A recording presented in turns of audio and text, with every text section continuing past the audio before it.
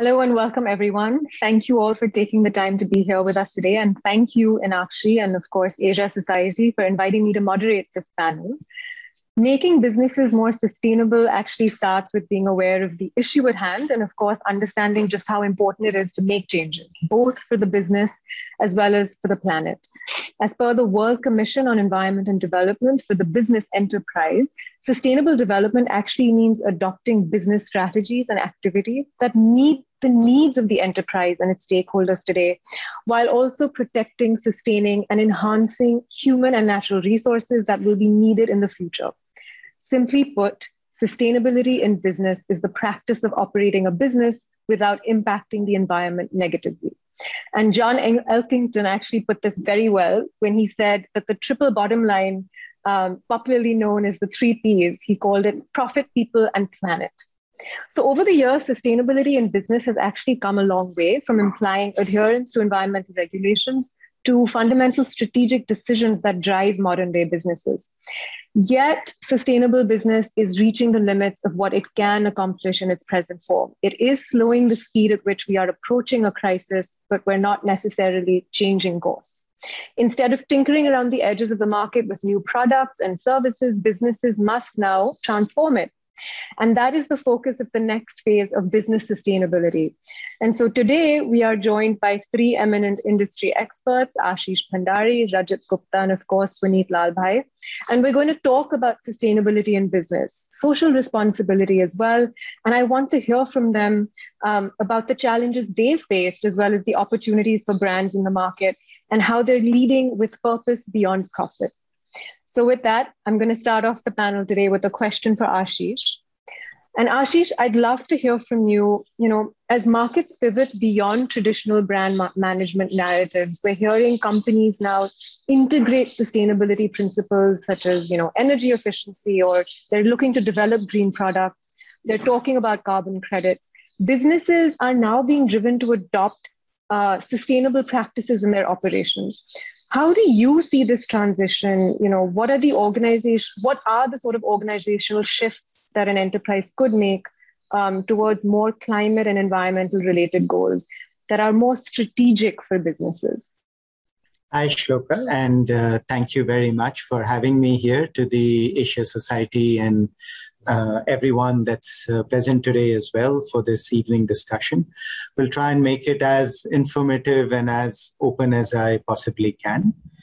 Um, I'll start exactly the way you started your pitch here. First, by saying that does not matter what business you are in, it is very clear that what is going to, what is the climate change agenda will change every business out there.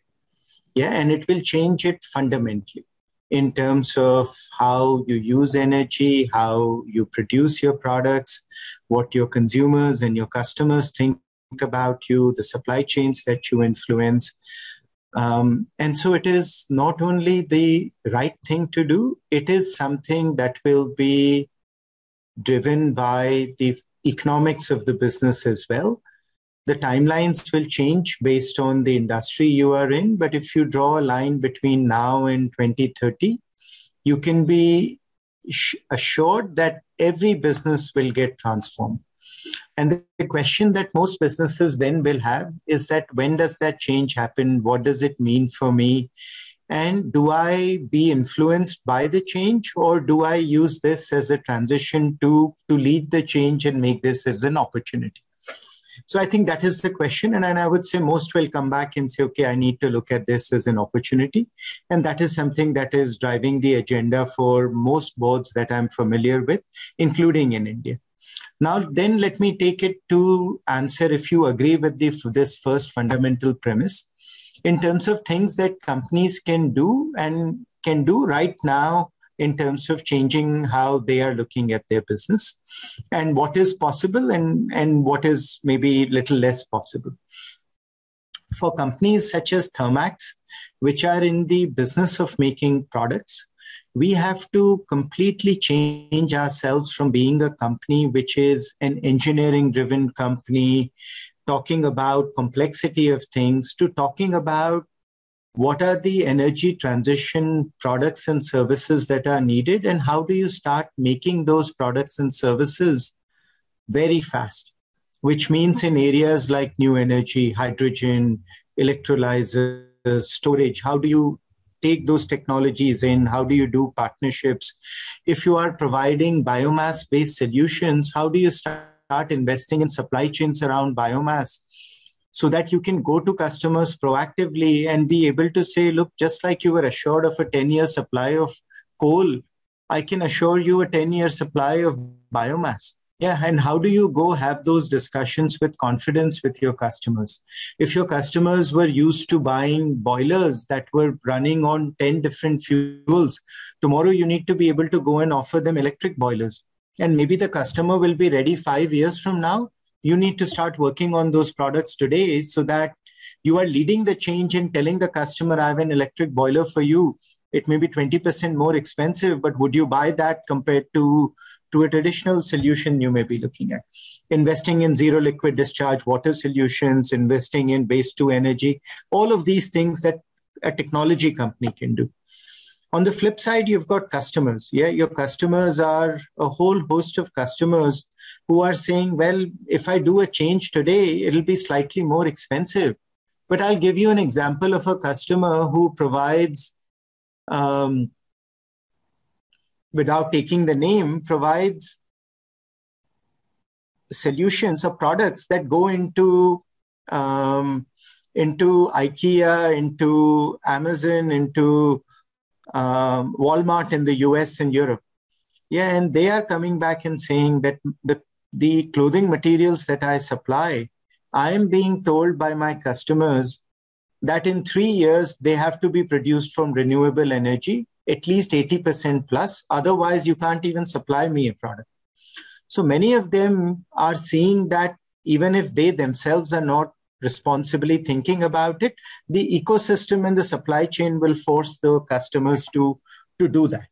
The last thing I will say is that this is something that does not have to be a disadvantage.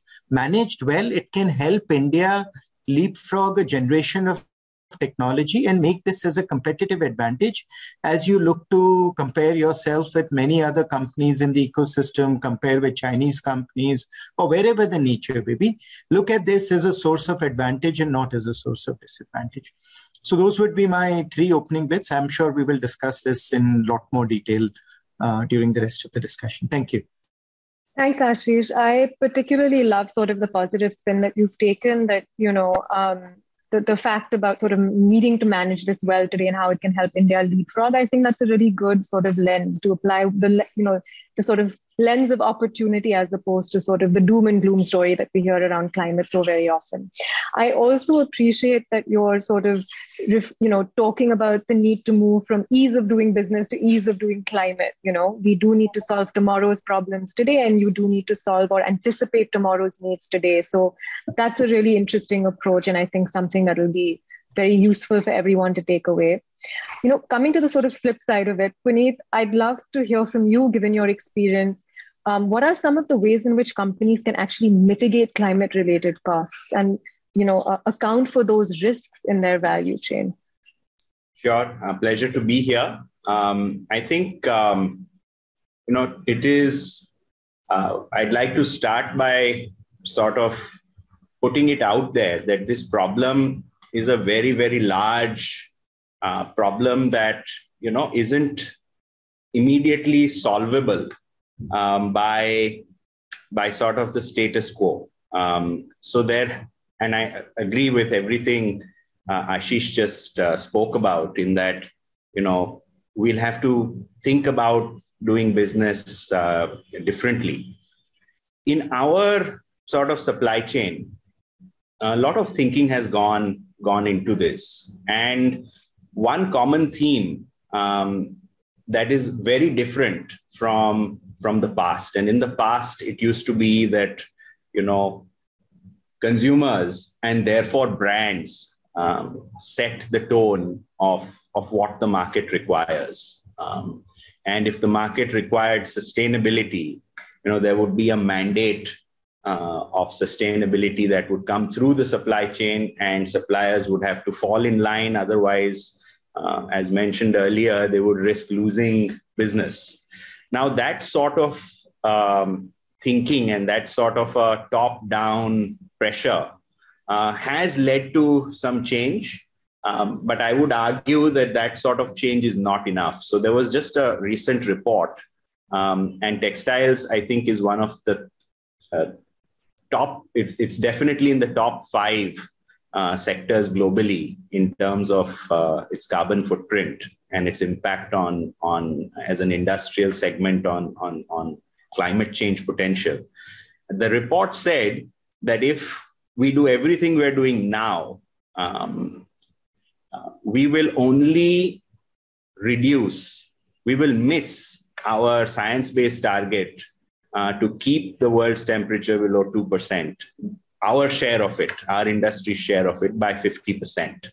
Um, if, if, if, if, if we don't do things very differently. So, um, so that is the kind of challenge that is in front of us. And the only solution in my mind is a coalition approach um, where the problem is understood and where the impact is created uh, is very, very different. Um, the people that have knowledge to create the, the difference um, and the people that are willing to pay for it often are not on the same page. Um, so I'd like to give you an example of an initiative that I've been part of since its inception four five years ago. Uh, it's something called the Sustainable Apparel Coalition, where every um, um, major brand is represented. A lot of the manufacturing communities uh, represented, civil society is represented, farming communities are represented. So it's a really well represented uh, group of people what we did first is develop a common measurement for sustainability in the industry. And that common measurement, what we call the Higg index, became the standard by which you know, we, we talk about sustainability. And what it did was it created a positive race uh, uh, to, to, to actually improve. So by self assessment um, and by um, sort of making your scores available uh, to your customers, um, we are able to, you know, create a cloud of anonymous data to show where you are with respect to the industry. And that has really helped push the industry along. So year on year scores are improving. Um, and, um, uh, you know, the uh, we are able to move away from greenwashing. Um, we are able to uh, uh, you know, compare apples to apples. And we're able to have these conversations that are not, you know, drawing red lines that if you're below this score, I don't buy from you. It's a conversation around how do you improve your score year on year. Um, and every year, um, you know, you raise the bar. So every year, the Higg index, uh, it becomes harder to score the same number of points. And you went from really easy, um, sort of yes, no kind of questions to actually a metrics based system where you know it's getting more and more sophisticated so you're taking the industry along um, so that was on measurement but now we found that measurement is not enough um, you need collective action and so the whole focus has changed to actually do uh, fundraising across the uh, supply chain and i'm part of another initiative called the apparel impact institute that is moving from collective measurement to collective action. Maybe I can talk about that a little later uh, in, in, the, in the program. So these were some of the examples of what industry uh, industries can do, not just individual industries, but entire supply chains that are very intertwined and, and, and sort of globally represented. Thanks, Punit. I think you've made a very valuable point about the need for coordinated action. Um, and that is, you know, a very sort of, um, I think, promulgated approach now, you know, to mitigate against those climate related costs. Um, and of course, the initiatives that you've mentioned are very well known um, and, and they're seeking to do exactly this. I'm actually going to turn to you, Rajat, and ask you, you know, a similar sort of question, whether or not you have any thoughts around coordinated action, um, and if that sort of you know, one of the approaches that you would also suggest to mitigate against these kind of risks. But I'd also love for you to comment on um, something more around you know how companies can actually deliver change sustainably while benefiting the bottom line. Because you know when we talk about decarbonization for instance it's actually considered to be you know more of a hurdle than an opportunity. Um, you know Punit also referred to sort of the transaction costs of that transformation. So you know the challenges that sort of come forward with moving you know towards a more sustainable approach can they actually reveal newer possibilities for profit? Um, would love your thoughts. I know it's a big question, but any thoughts you have? Uh, thank you, Shloka, and thank you for inviting me. Uh, let me try and it's yes, it's a big question, but let me try and answer a big set of questions, I should say. Let me try and address some of them to the point of coalitions. Uh, let me illustrate this in a different way. I think first and foremost, coalitions are going to be crucially important for the reasons that Punit described, but also for other reasons. Whenever industries emerge, right? Whether you take 100, 150 years ago, the emergence of the steel industry, or you take more recently, 30 years ago, the emergence of the mobile industry, for example, in India, they tend to be vertically integrated or created through coalitions. Less so through coalitions, they often are vertically integrated. So towers and service, for example, in telecom was vertically integrated. Mines and steelmaking was vertically integrated because there is a vertical market failure, right? So no, a person can't put a mine because there's no demand for that mineral, and a person can't put a steel plant because there is no demand for uh, there, there is no supply of mineral, and hence uh, when industries emerge, and there are many industries that will emerge uh, out of this transition, uh, there is need for integration. Now, this transition is going to need capital in overall terms, and I'll come back to this question, in trillions of dollars, and each project could end up being in certainly tens, perhaps hundreds of billions of dollars. Let me illustrate a project, right? So a project of hydrogen, right, which is going to be necessary for high temperature, decarbon, high temperature heat requirements in industrial processes, and perhaps is the only way to decarbonize some, some sectors. Uh, now, you need large amounts of renewable energies for green hydrogen. You need electrolyzers to be set up, and you need newer technologies to use that green hydrogen than the current technologies, for example, for steel making or for some other uh, processes. Uh, a steelmaker can't put the steel plant unless the hydrogen is there. A hydrogen maker can't put the hydrogen unless the renewable is there, and vice versa. Uh, so this does require huge amounts of coalitions, and some of these coalitions will have to be uh, cross-border coalitions. So the cheap hydrogen, or even the raw material for steelmaking, for example, um, uh, direct reduced iron, can probably be made cheapest in India, Saudi Arabia, Australia, where the sun shines hard, while the consumption centers are in different locations, um, perhaps in Northern Europe, uh, or in Europe, or in Northern Asia.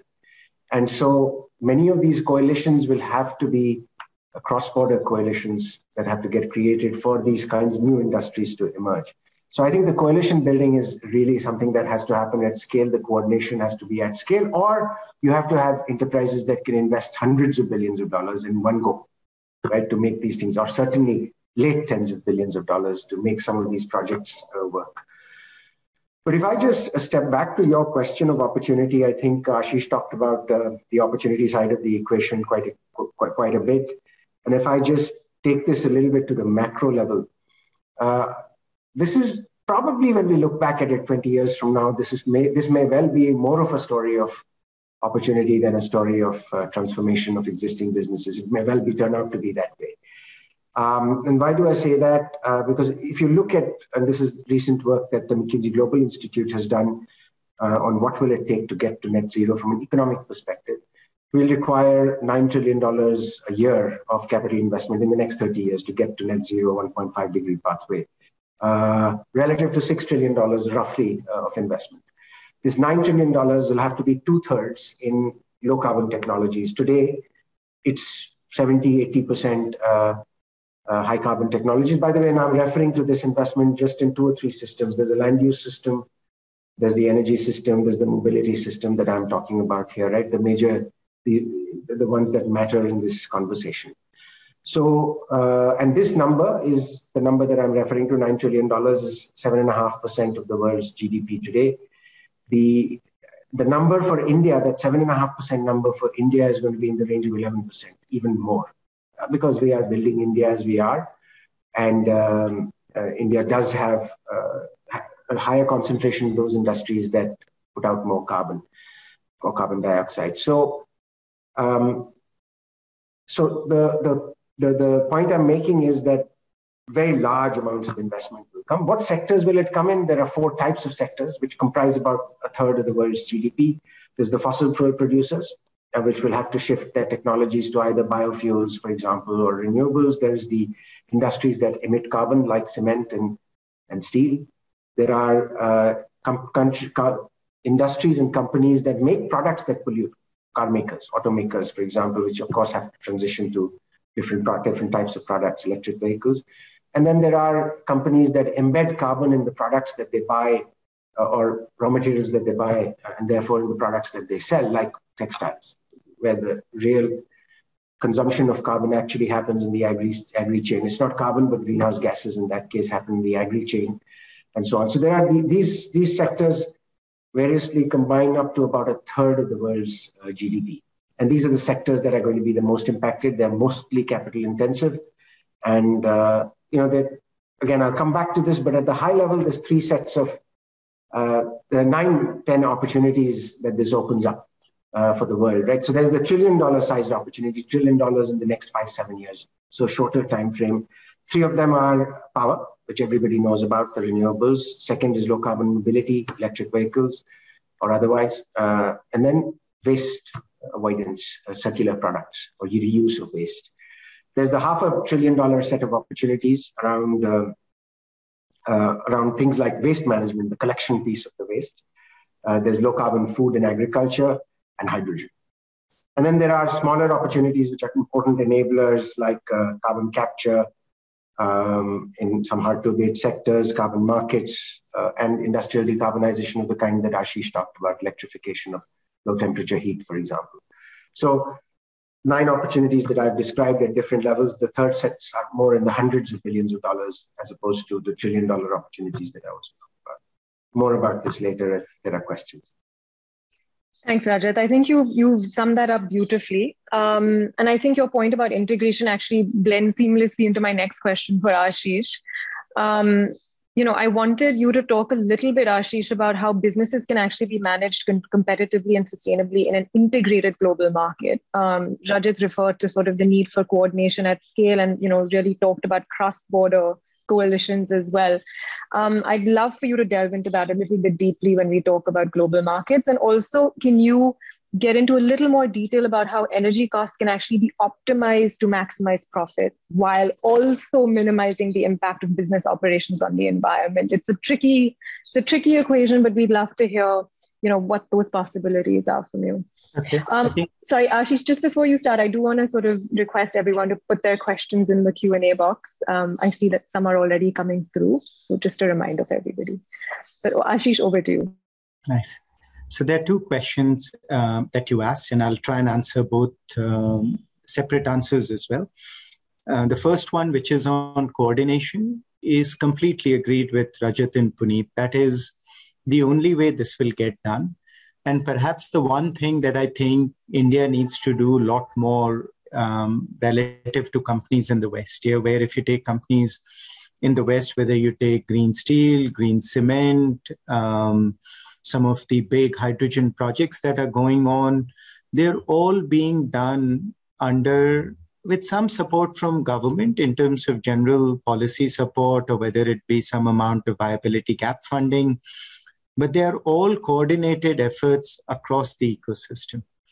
And india too will urgently need to do these kinds of uh, joint efforts wherein the first effort may not even be with a specific like end price that this will produce hydrogen at one dollar or at 100 rupees per kg. Yeah the first one is just to see help me understand the various building blocks of putting a solution together. That will then help me understand how do i optimize each part of it. And solar is a good example in that sense. Here the kinds of solar prices we talk about today are unheard of, uh, were, would have been unheard of even a decade ago. But a decade ago, the companies that invested in putting those solar supply chains are in some ways getting the benefit of some of those lower prices today, which India has kind of missed out on in a way. And we shouldn't let that happen to us on the hydrogen side. So completely agreed with uh, with Rajat on the on this particular um, aspect.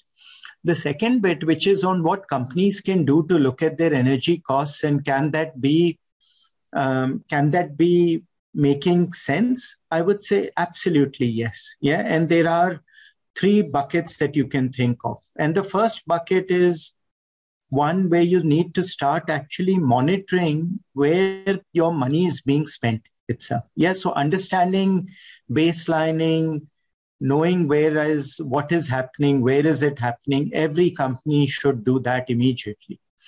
And we'll talk about scope one, scope two, scope three emissions, I guess, in some point. But knowing where your energy costs are going is something that and your water is going, something that every company should start to baseline immediately. And a little bit of money that needs to be spent to understanding that is a no brainer.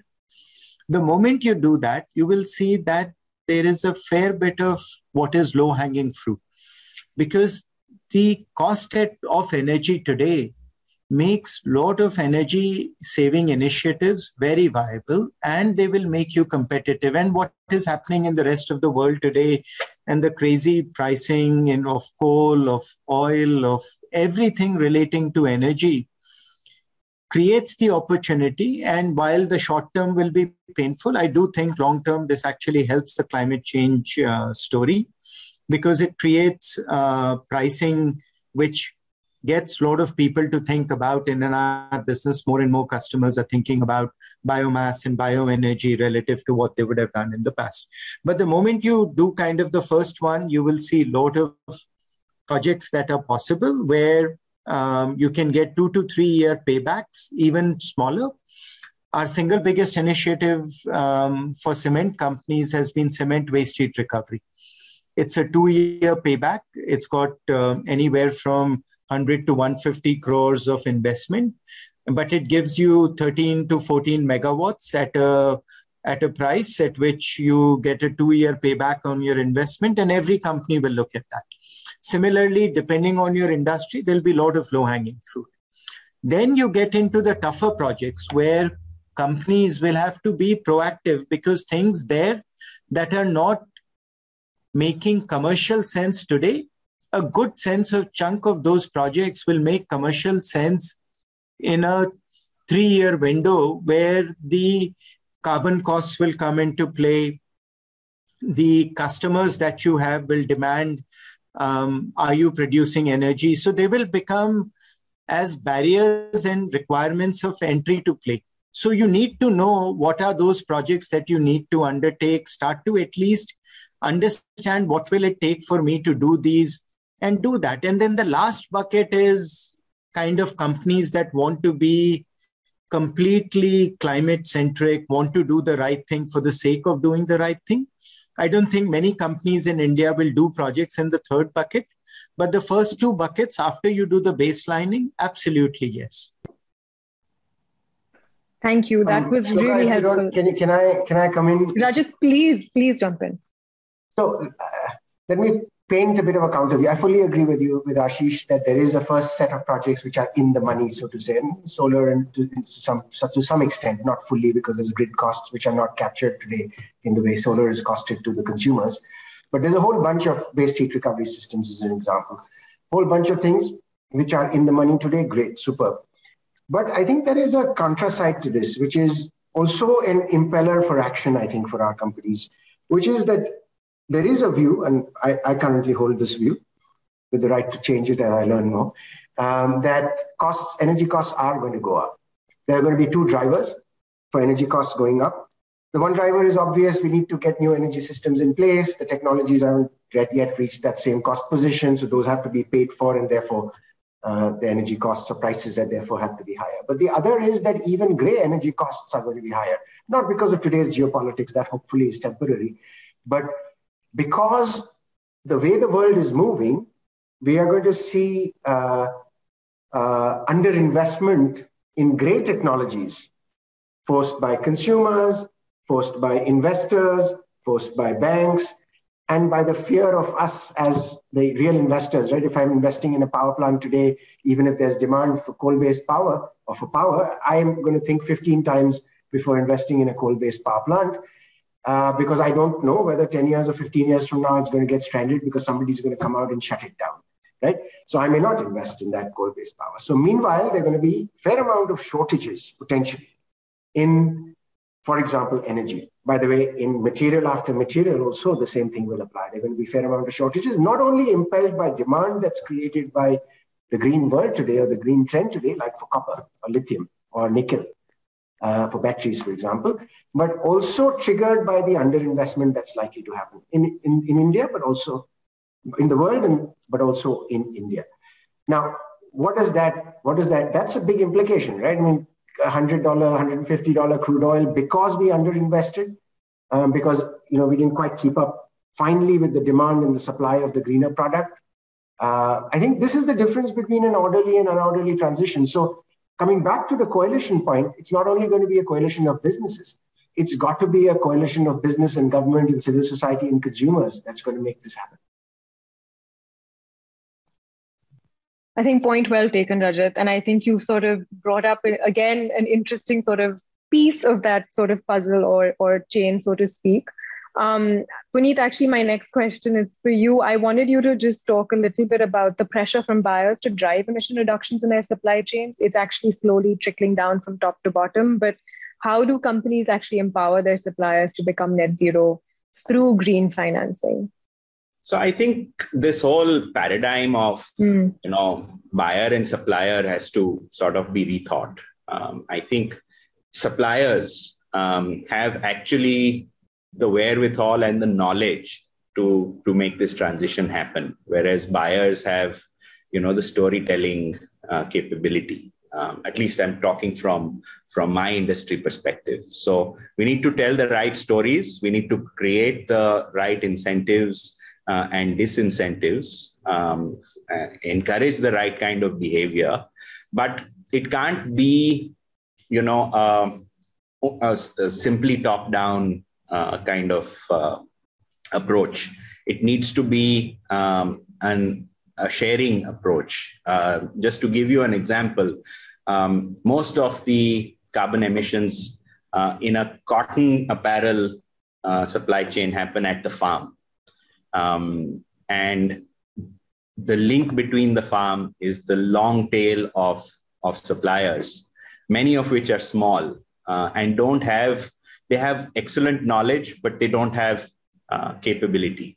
Uh, in terms of finance, in terms of access to technology, in terms of um, uh, taking their their products to market in the places where these kind of products will be will be valued.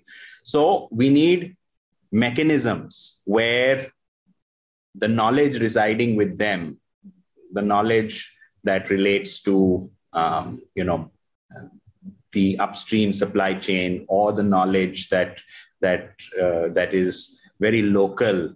Uh, how do we leverage that, and how do we fill those gaps um, uh, and and and and enable them, empower them uh, to succeed? Again, the answer is in in in um, in, in uh, coalition. So um, this is a place where I may talk about the Apparel Impact Institute. Uh, we have a model. Um, uh, one program that we do is mill improvement, um, and and the, that program um, seeks to have capital from a variety of sources. So one third is the responsibility of the suppliers themselves. Uh, one third, uh, the brand, which is nominating the mills to this program, uh, actually come up with, and one third is philanthropically sourced, making the sort of ability of many of these players um, uh, a, lot better to, to invest in the kind of change that they need to um, uh, in their in their supply chains. So so this is just just one example of where it just can't be a trickle down effect but there is you know a lot of thinking that goes on in the industry to be able to move even a long tail of relatively um, uh, people who can't can't make uh, large investments in in change. Um, I think one more point I'd like to add on the previous conversation um, because it's I think it's very important. I think there are two kinds of um, opportunities uh, and situations. One is a bucket of opportunities where actually thinking um, positive climate is actually extremely possible, uh, profitable. So, you know, if you all your waste uh, saving um, initiatives, all your um, sort of uh, initiatives such as heat recovery that Ashish spoke about, um, uh, all all kinds of um, uh, mechanisms that allow you um, access to established technologies that actually make up uh, make your production more efficient. Um, that falls into one uh, bucket, and that bucket is not insignificant or small. The other bucket exists because one, either things are mispriced, two, the players, there is lack of information or, or education. Three, there is a lack of policy uh, frameworks that allow, uh, you know, uh, you know, the change to occur. So I think addressing these underlying things, or uh, there are risks associated with technology. Um, uh, there is half-baked technology, uh, point Rajat was making uh, earlier. So I think going one level deeper and, and addressing uh, each of these reasons why something is in the other bucket um, will require, you know, much more than just top-down pressure uh, to, to come in. It's going to require conversations that will involve governments, that will involve civil society, that will involve the science uh, community, that will involve the long tail of suppliers, that will involve uh, you know marginal farmers. So uh, how do we how the extent to which we are able to sort of get these very differing players around the table and solve their issues will determine uh, how well we succeed. Thank you, Punit. I think that was a really sort of well, you know, summarized response, and I, I really appreciate your pushing back against the sort of top-down trickle, and and sort of coming back to what you would sort of reflected on with the need for coordinated action. That seems to be a theme for today's discussion, but clearly an important one. Uh, Rajat, I have two sort of questions for you because I think you can elaborate a lot more on sort of the coordinated piece. I think there's there's a whole ecosystem sort of aspect that you've you've hit upon.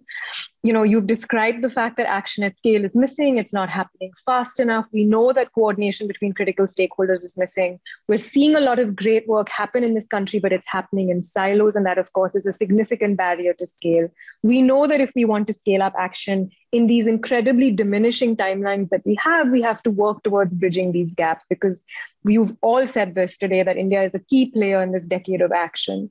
And it's interesting because in the earlier days of the climate movement, we actually saw a lot of effort being invested in building awareness about the crisis. You know, climate denial really was a thing at that time, but I think we moved past it. Um, we've seen significant investments in developing the science and research. And today, most major stakeholders, from governments to central banks to the private sector, recognize the importance and need to act on the crisis.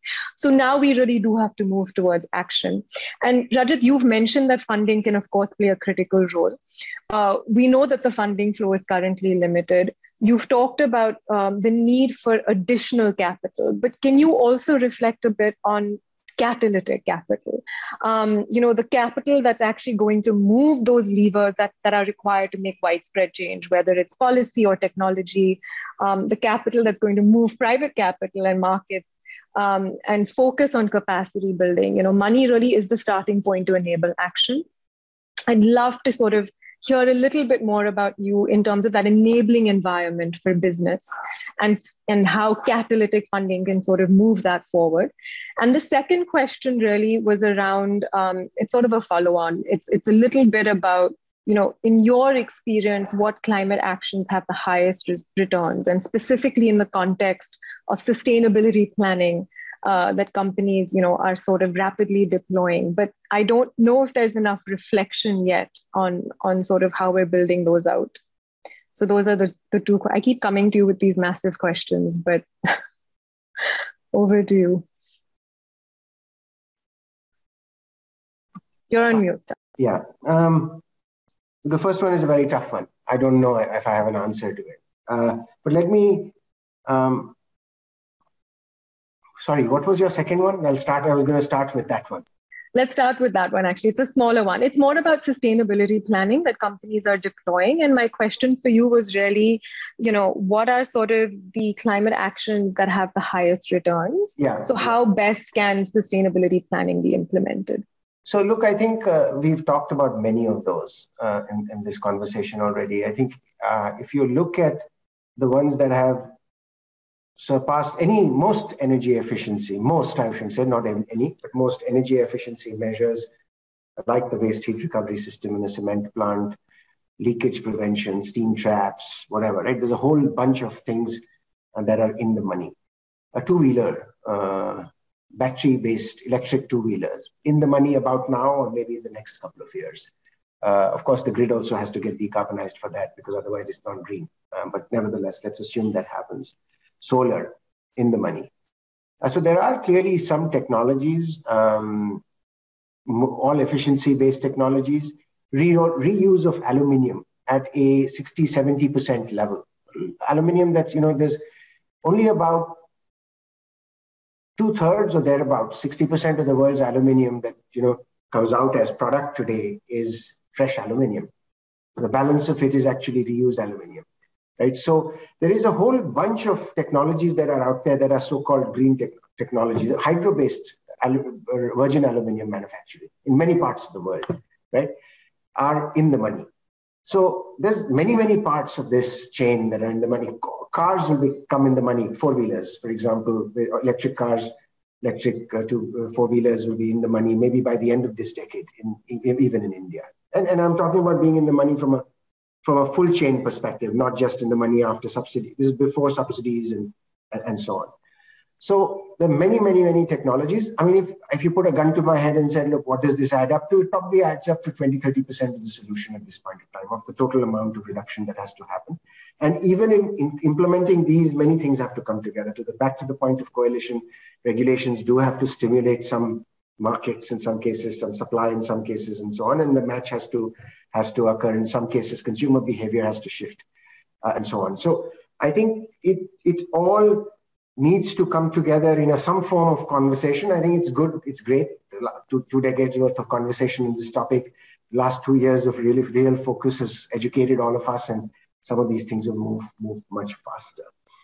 Uh, but there is still that 80, 70, 80% of the problem, which is either, a, by the way, just pure R&D is no longer a problem. And we did this work in Europe. Uh, Europe's 1.5 degree pathway on current technologies, including ones that have not yet been scaled, but currently developed technologies can be met pretty much, the 1.5 degree pathway.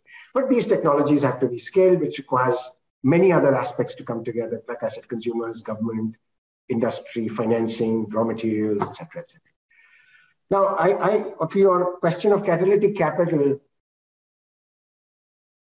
I think uh, the biggest part of this catalytic capital has to go probably in three or four areas. And it's not very large amounts of money, right? I mean, compared to the whatever 9 trillion into 30 years worth to 270 trillion dollars of capital that I talked about, this is probably a few trillion, right? Few ones of trillion. But it has to go in capability, in, knowledge de- development.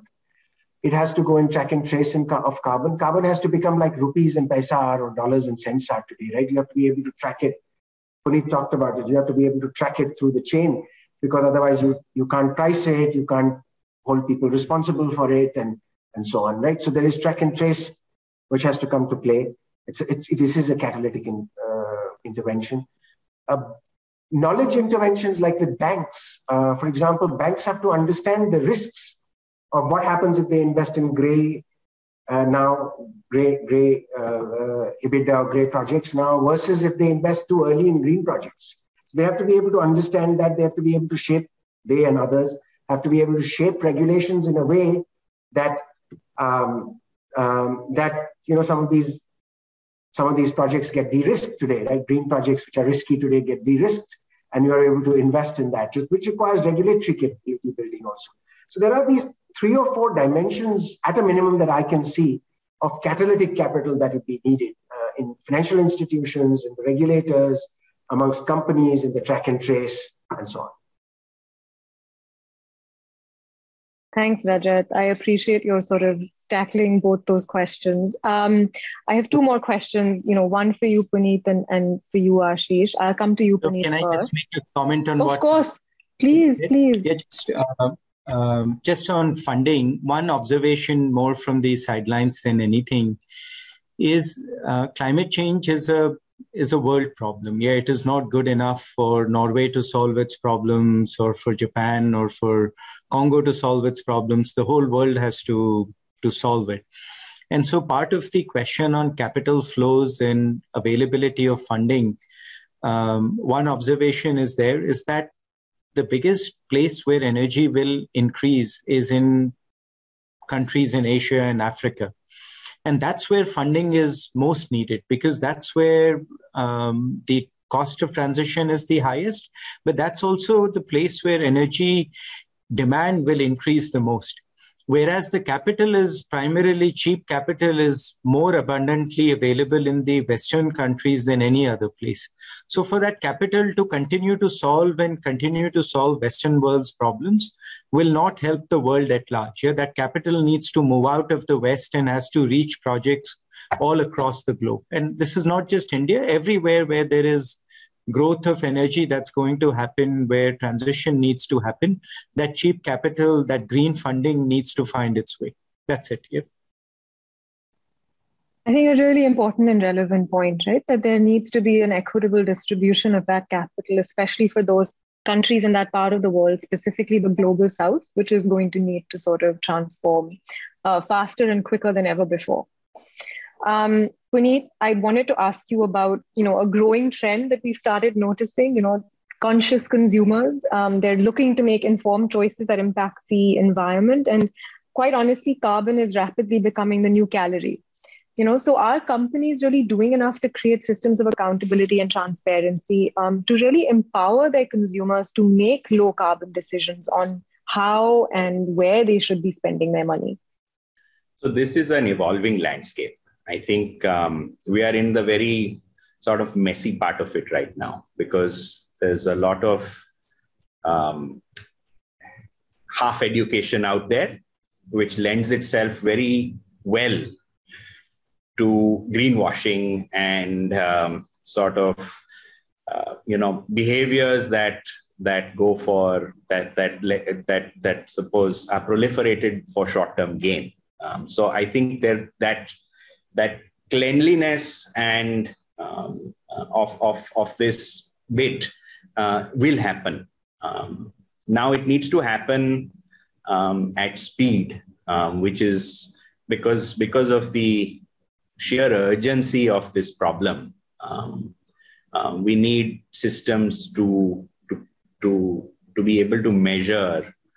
so ideally, uh, if I talk about my supply chain, um, you know the effort is to make the Higg index consumer facing where you know it goes on a label and that number is uh, inspires enough confidence where somebody can punch in that number and see the you know uh, impact across the supply chain. If you do that then um, you know you are allowing the um, um, consumer to make a very informed decision but people rarely make these informed decisions based on cold hard numbers. So, what is necessary on top of that number, um, which hopefully we'll get right uh, and in time, is also great storytelling.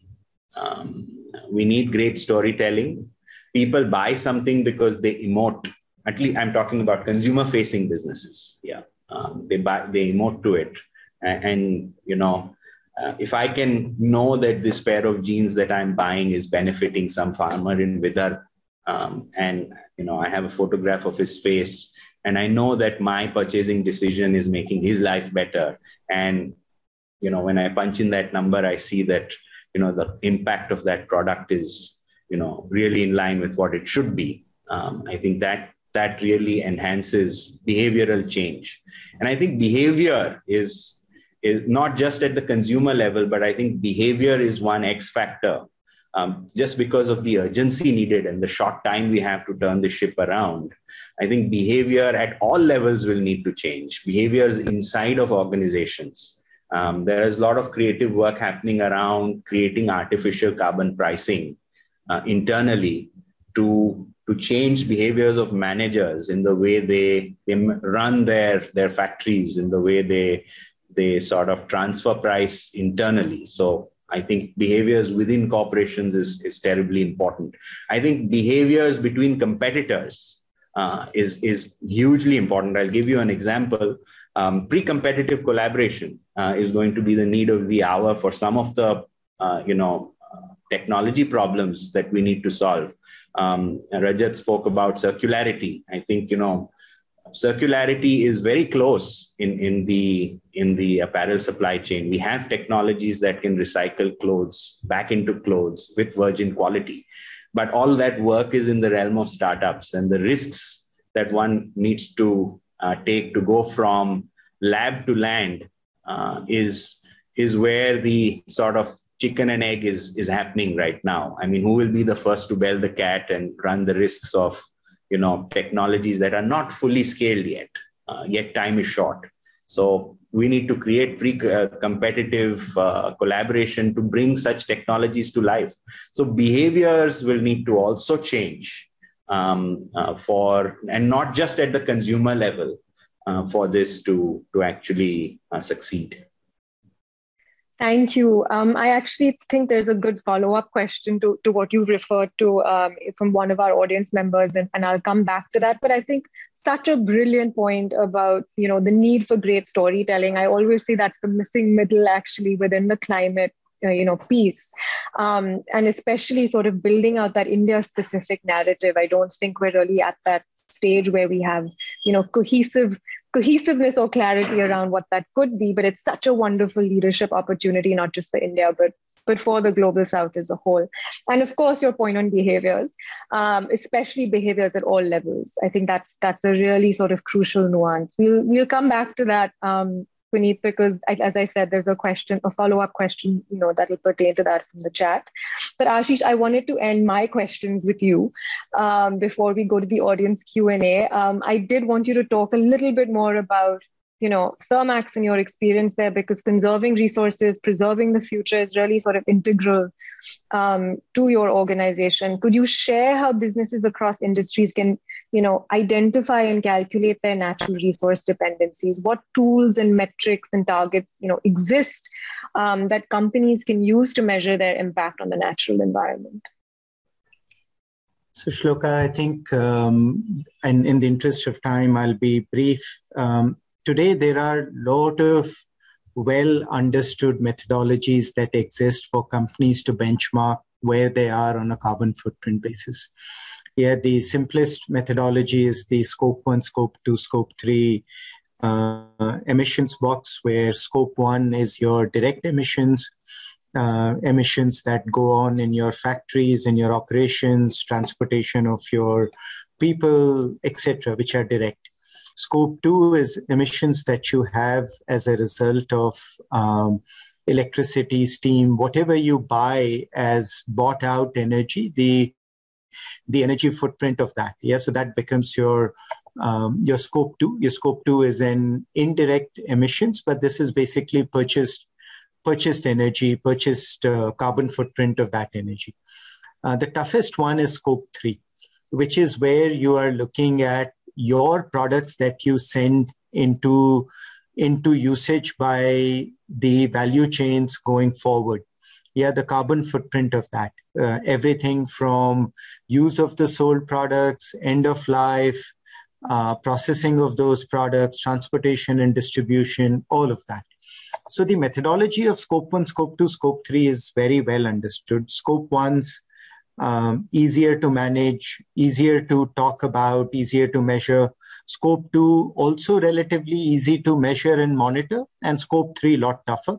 Companies should start with this framework, start to understand what their energy footprint is, come up with plans on how do you reduce it, how do you improve it, and that will give rise to a whole host of plans. Simple answer, I think, just in the interest of time, in terms of how companies can look at this. Thank you, Ashish. I appreciate that, and I, I appreciate you sort of um, shortening your answer for time. But we do have, you know, some questions for you from the audience Q and A, and I'm actually going to shift to that. Um, Rajat, I'll come to you first. We have two questions around the transition from green ener- gray energy to green energy, um, and specifically, I think there's a request for you to elaborate a little bit more on the underinvestment around that transition. So. Um, if you're a business person and uh, you're in one of these uh, hard to abate sectors, let's say, or uh, may not even necessarily be hard to abate, but the sectors which which emit a fair amount of carbon. So coal-based generation, which is an obvious one. Frankly, no investments almost going in there. Only completion of current plants and some ground.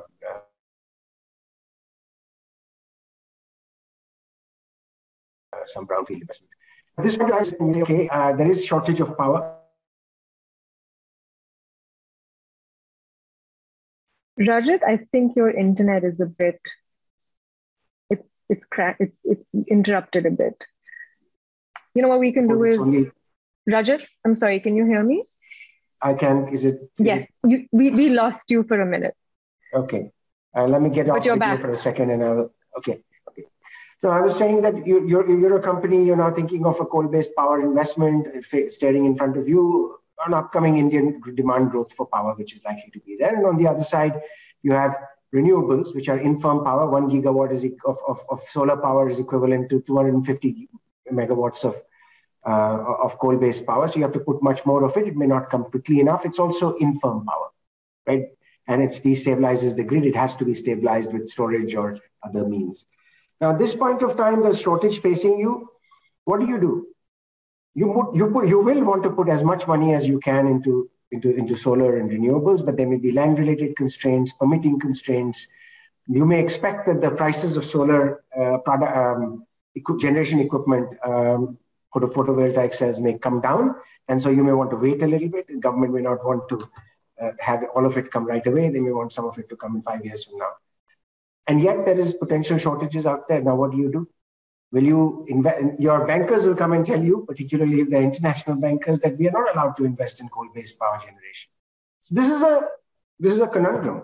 How will we work through this conundrum where there are then likelihood of shortages of coal because mining investment may not go in, shortages of coal-based power, stable thermal power, uh, uh, uh, metallurgical coal for um, uh, for steel making, and so on, so on. And meanwhile, the green technologies haven't quite picked up at the same pace. So, what is likely to happen? What we are likely to see a lot more volatility than what we've, even seen in the last 10 years. It's already been quite volatile. We are likely to see a lot more volatility, a lot more uncertainty, and we are likely to uh, we're likely to see periods of underinvestment, overinvestment that will occur around this. And let me turn to the implications of this for anybody who runs a company or runs a strategy efforts in a, in a company. This is classic strategy under uncertainty. So, you know, it's become really hard to now make decisions. How will you, some of you sit in boards, um, how will you make these decisions on boards, right? In this uncertainty, particularly when there's billions of dollars of capital that has to go into some of these projects. It's not 300 it's not 20 million dollars right? These are all capital intensive industries that i'm talking about. So this is the conundrum and this is the challenge. Of course prices will go up. It's good. If gray product prices go up gray power prices go up it will support more solar. So it's good for that to happen at some level. It's bad to happen because for our poor uh, electricity costs will go up. Not great right? So many different dimensions to think about Thank you, Rajat. Um, I think that was a useful summary. Um, and, and one is, I think I really like your point about the need for strategy in times of uncertainty. Um, but also, the, you know, this is where innovation as well stems from. So hopefully we'll see more of that as well. Punit, next question for you actually. Um, I thought you could elaborate on sort of, you know, the behavioral piece that you were referring to earlier, but um, the question in the chat around Patagonia, actually, the outdoor clothing company. Um, and one of our audience members has requested, you know, a little more clarity around the fact that they advertised that the fundamental reason for climate change was consumerism. Um, and the advertising that they did discouraged its customers from buying its products. And as a consequence, its sales jumped by 30%. So, did the advertising succeed or did it bomb? So, I would think, and see, this is my personal opinion. Um, the founders of Patagonia would have thought that it bombed. Um, if there is one company in the world, in our industry, that actually believes in that principle, it's Patagonia. And they are an inspiration to us all. Uh, and they drive a lot of the thinking around uh, this business. Um, so I'm sure that the the founders of Patagonia would not have created this advertising with an with a sort of hidden agenda of selling more more product. Um, just this is my personal opinion, knowing the company, being associated with them in in in in, in many ways. Uh, and they're thought leaders in in the way that they they think about sustainability. Um, they are very good at partnering across um, the supply chain and with civil society. Uh, and they are very innovative in bringing new ideas to the fore. Um, I think a lot of this coalition work was sort of um, catalyzed um, with them being one of the core founding um, thought leaders there. So, so I, I, would that that's what I have to say about Patagonia. Thanks, Punit. I think I think that clarifies it quite well. Um, I also want to quickly respond to um, a, you know Anshuman, who's written in the chat. Um, I think he's followed up, project to your response, um, and he wants to know if you know investment in grant form, you know, to move from gray to green, uh, would sort of ease that transition. And I think a quick follow up you know, Anshuman is yes. Uh, that is actually something that we're doing at the ICC. So we are sort of, we have a whole industry program. And one of the things we are trying to do is drive grant capital uh, towards some of these sort of transitional uh, transitional pieces. Rajat, anything you'd like to say on yeah, this? I don't think grant capital is going to be sufficient, anywhere near sufficient at 10% of the world. No, no, no, not not sufficient at all. Yeah. But I yeah, I'm so I'm going to put myself off video. I'm just saying lending mandates, carbon price, these are the mechanisms of scale. And of course, technology costs going down very significantly, which they can. These are the scale mechanisms. And I mean, grants and all of these only be catalytic. Completely. And I think I think you've sort of clarified uh, that point. It's never going to be sufficient, but there are sort of very catalytic levers that it can, you know, work on to produce that transition or to ease that transition rather. Um, so thank you for that. I think the last question, you know, Ashish, we'll come to you again um, to close us out for the day. But um, Amol has sort of put this down in the chat. He's he's he's you know flipped the, the paradigm on its head. He says today's solution can also be tomorrow's problem, and I think that's a very sort of wise statement. So how do we choose the optimum solution for sustainable transition in businesses while accounting for stakeholders and their operations? all stakeholders in their operations. Ashish or yeah. Oh, this is Kamishla. Okay. See, I oh, think that's in a way the question is is not just about energy; it's about life itself. Um, you're constantly on a treadmill. The problems that you create uh, today will uh, the solutions that you're looking, and I perhaps it's it's. a it's a talk about how you work on EVs, and and then you have a question on how do I dispose of all the batteries. I do um, I do solar panels, and some of them will have arsenic, and and the metal usage that goes about the water that it all needs. I think if we think about trying to solve everything today, day zero, sometimes it's difficult to take a first step itself. Yeah, so, um, and we know as we take our next step and our next step, you expect that some of the problems that you're creating, technology will continue to find solutions around it. How do you recycle batteries effectively? How do you um, take metal out of all of this? How do you conserve it better? How do you run electrolyzers with with recycled water? So we will uh, we have to give technology a chance. Um, I think the whole climate change one in a way to to not belittle it by any means, but will also going to be a case of jumping off the cliff and growing our wings as we are jumping down. Uh, but the choice is is not there. Yeah, it is something that we have to move forward on because we know what we have today is not going to to be anywhere close to to saving the planet so so we all have to start down and then you have to have faith in in humanity in technology that we will figure some of the answers to the problems that we are creating uh, based on today's technology Thanks for that, Ashish. I think that was, you know, really sort of well summarized. Um, I think we have one la- we have like a minute for like a last quick sort of question and it's actually for both you um, ashish and rajat and the question is and punit for you as well if you have thoughts about this but they want to know what is the likely time frame for a complete changeover to green energy I thought that would be a nice one to end on. Yeah. Ashish and Punit have the answer to this. Enough. Sorry, Ashish, what did you say? Just say not soon enough. Not soon enough. Okay. Uh, Rajat, are you are you abstaining from this round? I mean, it's anybody's guess. Uh, yeah. I do think that uh, we will. Uh, let me say that we will probably solve the problem faster than we think today is possible. I don't think anybody thinks it will get addressed by 2050. Probably here. Uh, yeah.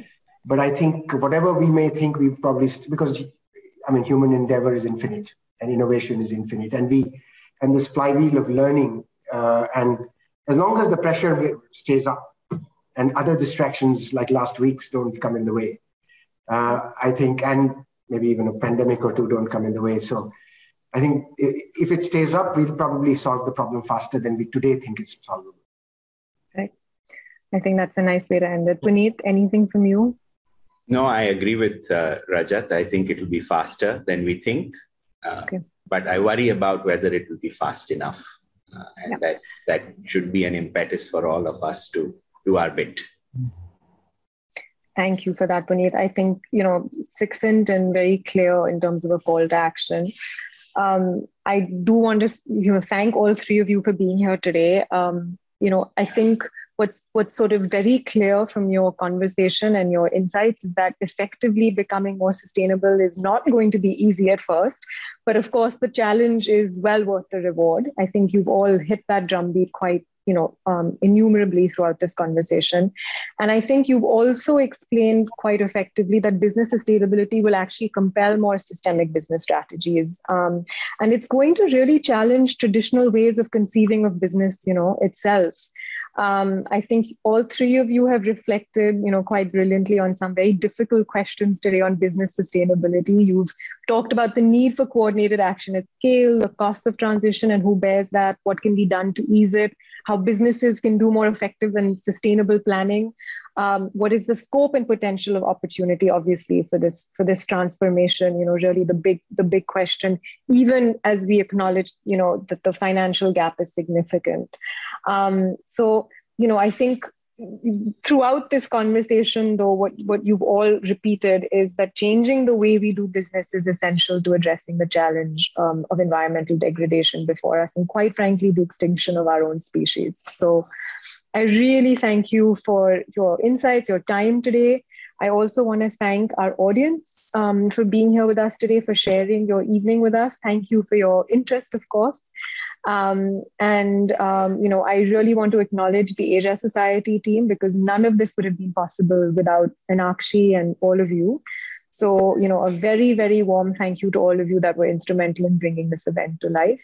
And thank you once again to our panelists for your time, your effort, your learnings. Um, it's been a fascinating conversation. And of course, to our audience, thank you for being here. I hope, you know, you have a wonderful day or night ahead, depending on where you are in the world. Thank you for joining us. Thank you.